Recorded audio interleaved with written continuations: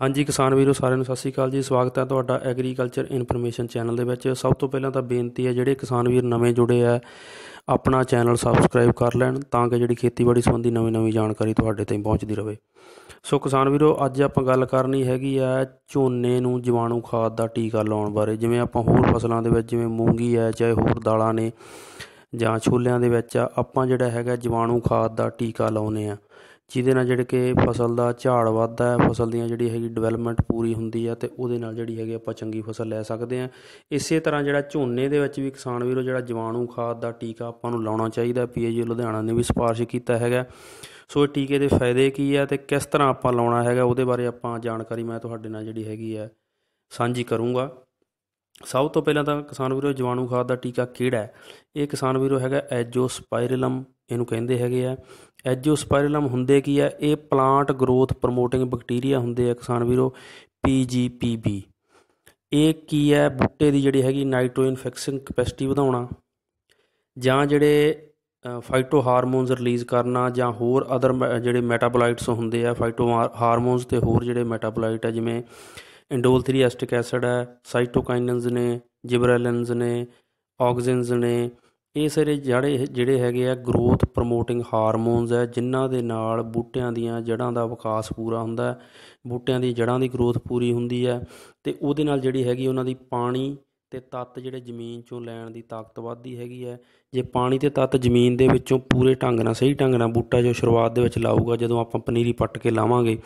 ਤਾਂ ਉਹਦੇ ਨਾਲ ਸ਼ੁਰੂਆਤੀ ਗਰੋਥ ਵਧੀਆ ਹੋਊ ਤੇ ਫਸਲ ਝਾੜ ਜਲਦੀ ਮਾਰੂਗੀ ਤੇ ਆਟੋਮੈਟਿਕ ਹੀ ਜਦੋਂ ਝਾੜ ਜ਼ਿਆਦਾ ਮਾਰੂਗੀ ਤਾਂ ਆਪਣਾ ਝਾੜ ਵੀ ਵਧੂਗਾ। ਇਸ ਤੋਂ ਇਲਾਵਾ ਕਿਸਾਨ ਵੀਰੋ, ਇਹ ਜਿਹੜੇ ਟੀਕਾ ਹੈਗਾ ਏ ਬਾਇਓਟਿਕ ਤੇ ਬਾਇਓਟਿਕ ਸਟ੍ਰੈਸ ਦੇ ਵਿੱਚ ਜਿਹੜਾ ਹੈਗਾ ਬੂਟੇ ਨੂੰ ਸਹਿਣਸ਼ੀਲ ਬਣਾਉਂਦਾ ਹੈਗਾ। ਏ ਬਾਇਓਟਿਕ ਸਟ੍ਰੈਸ ਕੀ ਹੁੰਦੀ ਹੈ? ਜਿਵੇਂ ਕਿਸੇ ਜ਼ਮੀਨ ਦੇ ਵਿੱਚ ਖਾਰਾ ਪਾਣਾ ਹੈ ਜਾਂ ਕਿਸੇ ਜ਼ਮੀਨ 'ਚ ਲੂਣਾ ਪਾਣਾ ਹੈ ਜਾਂ ਕਿਸੇ ਜ਼ਮੀਨ ਦੇ ਵਿੱਚ ਕਈ ਵਾਰੀ ਹਲਕੀ ਜ਼ਮੀਨ ਹੁੰਦੀ ਜਾਂ ਰੇਤਲੀ ਜ਼ਮੀਨ ਹੈ ਜਾਂ ਕਈ ਵਾਰੀ ਆਪਣੇ ਕੋਲੇ ਪਾਣੀ ਘੱਟ ਹੁੰਦਾ ਹੈ। ਬੂਟੇ ਨੂੰ ਜਾਂ ਫਸਲ ਨੂੰ ਜਿਹੜਾ ਹੈਗਾ ਪਾਣੀ ਦਾ, ਸੋਕੇ ਦਾ, ਝਟਕਾ ਲੱਗ ਸਕਦਾ, ਉਹ ਤੋਂ ਵੀ ਜਿਹੜੇ ਹੈਗੇ ਆ, ਇਹ ਜੀਵਾਣੂ ਖਾਦ ਦਾ ਟੀਕਾ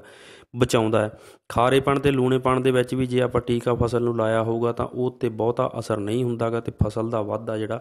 ਵਧੀਆ ਹੁੰਦਾ ਹੈਗਾ। ਬਾਇਓਟਿਕ ਸਟ੍ਰੈਸ ਕੀ ਇਹ ਹੁੰਦੀ ਹੈ ਕਿਸਾਨ ਵੀਰੋ? ਬਾਇਓਟਿਕ ਸਟ੍ਰੈਸ ਦੇ ਵਿੱਚ ਕੀ ਆਉਂਦਾ, ਜਿਹੜੇ ਪਲਾਂਟ ਪੈਥੋਜਨਸ ਹੈ ਜਿਵੇਂ ਖਤਰਨਾਕ ਬਿਮਾਰੀਆਂ ਦੇ ਜੀਵਾਣੂ ਆ, ਜਿਹਦੇ ਵਿੱਚ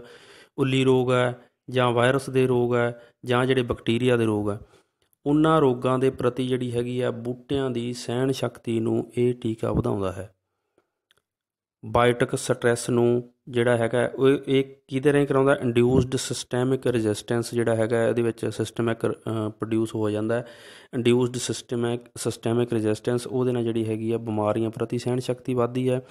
ਇਸ ਤੋਂ ਇਲਾਵਾ ਜਿਹੜਾ ਹੈਗਾ ਜਿਹੜੇ ਸੈਕੰਡਰੀ ਮੈਟਾਬੋਲਾਈਟਸ ਬੂਟੇ ਦੇ ਵਿੱਚ ਪੈਦਾ ਹੁੰਦੇ ਜਿਹਨੂੰ ਟ੍ਰੀਟ ਆਪਾਂ ਕੀਤਾ ਹੁੰਦਾ ਜਵਾਣੂ ਖਾਦ ਦੇ ਨਾਲ, ਉਹ ਜਿਹੜੇ ਹੈਗੇ ਆ ਬੂਟੇ ਨੂੰ ਪੈਥੋਜਨਸ ਦੇ ਪ੍ਰਤੀ ਜਿਹੜਾ ਹੈ, ਸਹਿਣਸ਼ੀਲ ਬਣਾਉਂਦੇ ਆ। ਇਸ ਤੋਂ ਇਲਾਵਾ ਜੜ੍ਹਾਂ ਦੇ ਵਿੱਚ ਜਿਹੜੇ ਹੈਗੇ ਸਾਈਡਰੋਫੋਰਸ ਬਣਦੇ ਆ। ਸਾਈਡਰੋਫੋਰਸ ਬਣਨਾ ਕੀ ਹੁੰਦਾ ਹੈਗਾ ਕਿ ਜਿਹੜੇ ਪੈਥੋਜਨ ਆ, ਜਿਹੜੇ ਇਹ ਬਿਮਾਰੀਆਂ ਵਾਲੇ ਜੀਵਾਣੂ ਹੁੰਦੇ ਆ, ਕੀਟਾਣੂ ਹੁੰਦੇ ਹੈਗੇ ਆ, ਉਹਨਾਂ ਨੂੰ ਜਿਹੜੇ ਹੈਗੇ ਆ ਆਇਰਨ ਸਪਲਾਈ ਘਟਾਉਂਦੇ ਆ, ਲੋਹੇ ਤੱਤ ਦੀ ਸਪਲਾਈ ਘਟਾਉਂਦੇ ਆ, ਜਿਹਦੇ ਨਾਲ ਕਿ ਜਿਹੜੇ ਉਹ ਅਟੈਕ ਕਰਨ ਤੋਂ ਜਿਹੜਾ ਪੂਰੀ ਤਾਕਤ ਉਹਨਾਂ ਦੇ ਵਿੱਚ ਨਹੀਂ ਰਹਿੰਦੀ ਤੇ ਉਹਦੇ ਨਾਲ ਜਿਹੜਾ ਹੈਗਾ ਬੂਟਾ ਉਹ ਉਹਨਾਂ ਦੇ ਅਟੈਕ ਨੂੰ ਸਹਿ ਜਾਂਦਾ ਤੇ ਉਹਦੇ ਨਾਲ ਜਿਹੜੀ ਹੈਗੀ ਆਪਣੀ ਫਸਲ ਦੀ ਗਰੋਥ ਵਧੀਆ ਹੁੰਦੀ ਆ ਤੇ ਬਿਮਾਰੀ, ਕਿਸੇ ਬਿਮਾਰੀ ਦਾ ਜਿਹੜਾ ਹੈਗਾ ਹਮਲਾ ਨਹੀਂ ਹੁੰਦਾਗਾ। ਹੁਣ ਗੱਲ ਆ ਜਾਂਦੀ ਕਿਸਾਨ ਵੀਰੋ ਕਿ ਇਹ ਜਵਾਣੂ ਖਾਦ ਦਾ ਟੀਕਾ ਕਿੱਥੋਂ ਮਿਲਦਾ ਤੇ ਆਪਾਂ ਕਿਸ ਤਰ੍ਹਾਂ ਲਾਉਣਾ ਹੈਗਾ? ਕਿਸਾਨ ਵੀਰੋ, ਇਹ ਜਿਹੜੀ ਐਜੋਸਪਾਇਰਲਮ ਜਵਾਣੂ ਖਾਦ ਦਾ ਟੀਕਾ ਹੈ, ਇਹ ਪੀਏਯੂ ਲੁਧਿਆਣਾ ਵੱਲੋਂ ਸਪਾਰਸ਼ ਕੀਤਾ ਗਿਆ ਪੀਏਯੂ ਲੁਧਿਆਣਾ ਤੋਂ ਵੀ ਆਪਾਂ ਲੈ ਸਕਦੇ ਆ ਜਾਂ ਪੀਏਯੂ ਲੁਧਿਆਣਾ ਦੇ ਕਿਸੇ ਵੀ ਕ੍ਰਿਸ਼ੀ ਵਿਗਿਆਨ ਕੇਂਦਰ ਤੋਂ ਜ਼ਿਲ੍ਹਿਆਂ ਦੇ ਵਿੱਚ ਬਣੇ ਹੋਏ ਆ, ਜਾਂ ਜਿਹੜੇ ਫਾਰਮਰ ਸਲਾਹਕਾਰ ਕੇਂਦਰ ਬਣੇ ਹੋਏ ਆ, ਉੱਥੋਂ ਵੀ ਆਪਾਂ ਲੈ ਸਕਦੇ ਆ ਪ੍ਰਤੀ ਏਕੜ ਅੱਧਾ ਕਿਲੋ ਜਿਹੜਾ ਹੈਗਾ ਐਜੋਸਪਾਇਰਲਮ ਨੂੰ ਆਪਾਂ 100 ਲੀਟਰ ਤਕਰੀਬਨ ਅੰਦਾਜ਼ੇ ਦੇ ਨਾਲ 100 ਲੀਟਰ ਪਾਣੀ ਚ ਘੋਲ ਕੇ ਤੇ 1 ਕਿੱਲੇ ਦੀ ਪਨੀਰੀ ਦੀਆਂ ਜੜਾਂ ਉਹਦੇ ਵਿੱਚ ਡਬੋ ਸਕਦੇ ਆ ਜਦੋਂ ਆਪਾਂ ਪਨੀਰੀ ਪੱਟ ਕੇ ਤੇ ਖੇਤ ਦੇ ਵਿੱਚ ਲਾਉਣੀ ਆ ਕੱਦੂ ਕਰਕੇ, ਉਦੋਂ ਬਾਅਦ ਜਦੋਂ ਆਪਾਂ ਪਨੀਰੀ ਲਾਉਣੀ ਆ, ਪਨੀਰੀ ਨੂੰ ਲਾਉਣ ਤੋਂ ਪਹਿਲਾਂ ਚਾਹੇ ਤਾਂ ਆਪਾਂ ਜੇ ਜ਼ਿਆਦਾ ਪਨੀਰੀ ਆਪਣੇ ਕੋਲੇ, ਜਿਵੇਂ ਖਾਲ ਦੇ ਵਿੱਚ ਕਿਸੇ 'ਚ ਆਪਾਂ ਪਾਣੀ ਛੱਡ ਕੇ ਉਹਦੇ ਵਿੱਚ ਜਿਹੜਾ ਹੈਗਾ ਜਿੰਨੇ ਏਕੜ ਦੀ ਪਨੀਰੀ ਹੈ ਅੱਧਾ ਕਿਲੋ ਪ੍ਰਤੀ ਏਕੜ ਦੇ ਹਿਸਾਬ ਨਾਲ ਉਹਦੇ ਵਿੱਚ ਆਪਾਂ ਜਿਹੜੀ ਹੈਗੀ ਹੈ ਮਿਕਸ ਕਰਕੇ ਜੋ ਸਪਰਲ ਨੂੰ ਘੋਲ ਕੇ ਤੇ ਉਹਦੇ ਵਿੱਚ ਆਪਾਂ ਪਨੀਰੀ ਰੱਖ ਦਈਏ, ਚਾਹੇ ਕਿਸੇ ਚਵੱਚੇ 'ਚ ਰੱਖ ਦਈਏ, ਉਹ ਆਪਾਂ ਆਪਣੀ ਜਿਹੜੀ ਹੈਗੀ ਜਿੰਨੀ ਪਨੀਰੀ ਆ, ਜਿੰਨੇ ਰਕਬੇ ਦੀ ਪਨੀਰੀ, ਉਹ ਹਿਸਾਬ ਨਾਲ ਆਪਾਂ ਘੋਲ ਸਕਦੇ ਹਾਂ। ਜੇ ਘੱਟ ਆ ਤਾਂ ਥੋੜੀ ਜਗ੍ਹਾ 'ਚ ਪਾਣੀ ਦੇ ਹਿਸਾਬ ਨਾਲ, ਮਤਲਬ ਇੱਕ ਕਿੱਲੇ 'ਚ 100 ਲੀਟਰ, ਇੱਕ ਕਿੱਲੇ ਦੀ ਪਨੀਰੀ ਮਗਰ 100 ਕੁ ਲੀਟਰ ਪਾਣੀ 'ਚ ਆਪਾਂ ਅੱਧਾ ਕਿਲੋ ਐਜੋਸਪਾਇਰਲਮ ਨੂੰ ਘੋਲਣਾ ਹੈਗਾ। ਤੇ 45 ਮਿੰਟ ਜਿਹੜੀਆਂ ਜੜ੍ਹਾਂ ਡੁਬੋ ਕੇ ਰੱਖਣੀਆਂ ਆਪਾਂ 40 ਤੋਂ 45 ਮਿੰਟ, ਜੇ ਜ਼ਿਆਦਾ 10-20 ਮਿੰਟ ਵੀ ਰਹਿ ਜਾਣਗੀਆਂ ਤਾਂ ਕੋਈ ਉਹ 'ਚ ਸਮੱਸਿਆ ਨਹੀਂ ਹੈਗੀ ਗੀ। ਤੇ ਤੋਂ ਬਾਅਦ ਮਤਲਬ ਕਿ ਪਨੀਰੀ ਆਪਾਂ ਖੇਤ ਦੇ ਵਿੱਚ ਲਾ ਦੇਣੀ ਆ। ਟਰੀਟਮੈਂਟ ਤੋਂ ਬਾਅਦ ਬਹੁਤਾ ਸਮਾਂ ਜਿਹੜੀ ਹੈਗੀ ਪਨੀਰੀ ਆਪਾਂ ਬਾਹਰ ਕੱਢ ਕੇ ਨਹੀਂ ਰੱਖਣੀ ਗੀ, ਕਿਉਂਕਿ ਜੇ ਬਾਹਰ ਕੱਢ ਕੇ ਰੱਖਾਂਗੇ ਤਾਂ ਜਿਹੜਾ ਹੈਗਾ ਉਹ ਜਵਾਣੂ ਖਾਦ ਦਾ ਟੀਕਾ ਉਹਦਾ ਜਿਹੜਾ ਹੈਗਾ ਅਸਰ ਘੱਟ ਸਕਦਾ। ਆਪਾਂ ਜਿਹੜੀ ਜ਼ਮੀਨ ਦੇ ਵਿੱਚ ਜੜ ਲਾ ਦੇਣੀ ਆ, ਤਾਂ ਹੀ ਜਿਹੜੇ ਹੈਗੇ ਮਲਟੀਪਲਾਈ ਇਹ ਬੈਕਟੀਰੀਆ ਕਰ ਸਕਦੇ ਆ। ਇਦੋਂ ਬਿਨਾ ਕਿਸਾਨ ਵੀਰੋ ਇੱਕ ਜਿਹੜੇ ਇਹਦਾ ਐਜੋਸਪਰਲਨ ਦਾ ਪਲੱਸ ਪੁਆਇੰਟ ਹੈ ਕਿ ਕੋਈ, ਕਈ ਜਿਹੜੇ ਇਹਨਾਂ ਦੇ ਸਪੀਸੀਜ਼ ਹੈਗੀਆਂ, ਉਹ ਫਾਸਫੋਰਸ ਆ ਜਿਹੜੀ ਜ਼ਮੀਨ ਦੇ ਵਿੱਚ, ਉਹਨੂੰ ਵੀ ਸੈਲੂਬਲਾਈਜ਼ ਕਰਦੇ ਹੈਗੇ ਆ ਤੇ ਜਿਹਦੇ ਨਾਲ ਫਾਸਫੋਰਸ ਤੱਤ ਆ, ਉਹ ਜ਼ਿਆਦਾ ਬੂਟਿਆਂ ਨੂੰ ਮਿਲਣ ਯੋਗ ਹੋ ਜਾਂਦਾ।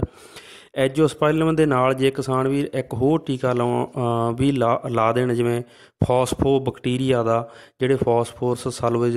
ਸਾਲੂਬਲਾਈਜ਼ਿੰਗ ਬੈਕਟੀਰੀਆ ਹੁੰਦੇ ਆ, ਉਹਦੇ ਨਾਲ ਇਹ ਐਜੋਸਪਾਇਰਲਮ ਪਲੱਸ ਫਾਸਫੋ ਬੈਕਟੀਰੀਆ ਐਜੋਫੋਸ ਬਣ ਜਾਂਦਾ ਰਲ ਕੇ ਤੇ ਇੱਕ ਬਹੁਤ ਵਧੀਆ ਜਿਹੜਾ ਹੈਗਾ ਮਿਸ਼ਰਣ ਤਿਆਰ ਹੁੰਦਾ, ਉਹਦੇ ਨਾਲ ਜਿਹੜਾ ਫਾਸਫੋਰਸ ਤੱਤ ਦੀ ਵੀ ਜਿਹੜੀ ਹੈਗੀ ਅਵੇਲੇਬਿਲਟੀ ਬਹੁਤ ਜ਼ਿਆਦਾ ਜ਼ਮੀਨ ਦੇ ਵਿੱਚ ਹੋ ਜਾਂਦੀ ਹੈਗੀ ਬੂਟੇ ਨੂੰ। ਤੇ ਬੂਟੇ ਦੀ ਗਰੋਥ ਹੈ ਜਿਹੜੀ ਬਹੁਤ ਵਧੀਆ ਹੁੰਦੀ ਹੈ ਉਹਦੇ ਵਾਸਤੇ ਐਜੋਸਪਾਇਰਲਮ ਆਪਾਂ ਜਿਵੇਂ ਅੱਧਾ ਕਿਲੋ ਲੈਣਾ ਹੈਗਾ, ਇਸੇ ਤਰ੍ਹਾਂ ਜਿਹੜਾ ਹੈਗਾ ਫੋਸਫੋ, ਬੈਕਟੀਰੀਆ ਆਪਾਂ ਨੂੰ ਬਾਜ਼ਾਰ ਦੇ ਵਿੱਚੋਂ ਆਪਾਂ ਲੈ ਸਕਦੇ ਹੈਗੇ, ਉਹ ਵੀ ਅੱਧਾ ਕਿਲੋ ਤੋਂ 1 ਕਿਲੋ ਨੂੰ ਆਪਾਂ ਨਾਲ ਹੀ ਇਹਦੇ ਘੋਲ ਕੇ ਤੇ ਉਸੇ ਤਰ੍ਹਾਂ ਮਤਲਬ ਦੋਨਾਂ ਦਾ ਮਿਸ਼ਰਣ ਬਣਾ ਕੇ ਤੇ ਪਨੀਰੀ ਨੂੰ ਆਪਾਂ ਜਿਹੜਾ ਪੌਣਾ ਘੰਟਾ ਡਬੋ ਕੇ ਰੱਖ ਕੇ ਤੇ ਉਸ ਤੋਂ ਬਾਅਦ ਜਿਹੜਾ ਹੈਗਾ ਟਰਾਂਸਪਲਾਂਟ ਕਰ ਸਕਦੇ ਹੈਗੇ ਆ। ਕਿਸਾਨ ਵੀਰੋ, ਇਹ ਦੇਖਣ 'ਚ ਲੱਗਦਾ ਕਿ ਅੱਧਾ ਕਿਲੋ ਜਾਂ ਕਿਲੋ ਦਾ ਟੀਕਾ ਹੈਗਾ, ਮਤਲਬ ਕਿ ਪਰ ਇਹਦਾ ਜਿਹੜਾ ਫਾਇਦੇ ਹੈ ਇਹਦੇ ਬਹੁਤ ਜ਼ਿਆਦਾ ਇਹ ਆਪਾਂ ਨੂੰ ਬਾਅਦ ਚੋਂ ਪਤਾ ਲੱਗਦੇ ਕਿਉਂਕਿ ਜੜ੍ਹਾਂ ਦੇ ਵਿੱਚ ਜਿਹਦੇ, ਜਦੋਂ ਇਹ ਬੈਕਟੀਰੀਆ ਆਪਣੇ ਫਾਇਦੇਮੰਦ ਬੈਕਟੀਰੀਆ ਆਪਣੇ ਮਿੱਤਰ ਕੀਟ ਹੈ ਇਹ ਇਹ ਮਲਟੀਪਲਾਈ ਕਰਕੇ ਜਿਹੜੇ ਹੈਗੇ ਆ ਬੂਟਿਆਂ ਦੀ ਜਿਹੜੀ ਜੜ੍ਹਾਂ ਦੀ ਗਰੋਥ ਇਸ ਤਰ੍ਹਾਂ ਕਰਦੇ ਆ ਕਿ ਉਦੋਂ ਬਾਅਦ ਜਿਹੜੇ ਹੈਗੇ ਇੱਕਦਮ ਬੂਟੇ ਜਦੋਂ ਆਪਾਂ ਪਨੀਰੀ ਲਾਉਣੇ ਇੱਕਦਮ ਬੂਟੇ ਜ਼ਮੀਨ 'ਚ ਲਾ ਕੇ ਤੇ ਜਿਹੜਾ ਹੈਗਾ ਉਹਨਾਂ ਦਾ ਸ਼ੁਰੂਆਤੀ ਵਾਧਾ ਬਹੁਤ ਵਧੀਆ ਹੁੰਦਾ, ਜਿਹਦੇ ਨਾਲ ਫਸਲ ਵਧੀਆ ਝਾੜ ਮਾਰਦੀ ਹੈ ਤੇ ਆਪਣਾ ਜਿਹੜਾ ਹੈਗਾ ਝਾੜ ਵਧੀਆ ਹੁੰਦਾ ਇਸ ਤੋਂ ਇਲਾਵਾ ਕਈ ਵਾਰੀ ਜਿਵੇਂ ਲੂਣੇ ਪਾਣੀ ਜਾਂ ਖਾਰੇ ਪਾਣੀ ਦੇ ਵਿੱਚ ਆਪਾਂ ਕਹਿ ਦਿੰਦੇ ਕਿ ਵਾਧਾ ਫਸਲ ਦਾ ਰੁਕ ਜਾਂਦਾ ਉੱਥੇ ਆਪਾਂ ਨੂੰ ਜਿਹੜਾ ਜਵਾਣੇ ਖਾਦ ਦਾ ਟੀਕਾ ਲਾ ਕੇ ਝੋਨੇ ਦੀ ਫਸਲ ਆ ਜਿਹੜੀ ਉਹ ਲਾਜ਼ਮੀ ਲਾਉਣੀ ਚਾਹੀਦੀ ਹੈਗੀ ਹੈ। ਐਜੋਸਪਾਇਰਲਮ ਅ, ਜੇ ਪੀਏਯੂ ਲੁਧਿਆਣਾ ਤੋਂ ਜਾਂ ਕੇਵੀਕੇ ਤੋਂ ਜਾਂ ਜਿਹੜੇ ਫਾਰਮਰ ਸਲਾਹ ਕੇਂਦਰਾਂ ਤੋਂ ਵੀ ਲੈ ਸਕਦੇ ਆ ਇਸ ਤੋਂ ਇਲਾਵਾ ਜਿਹੜਾ ਆਮ ਤੁਸੀਂ ਬਾਜ਼ਾਰ ਦੇ ਵਿੱਚੋਂ ਜੇ ਲੈਣਾ ਚਾਹੋ ਤਾਂ ਉੱਥੋਂ ਵੀ ਤੁਹਾਨੂੰ ਆਮ ਹੀ ਜਿਹੜਾ ਹੈਗਾ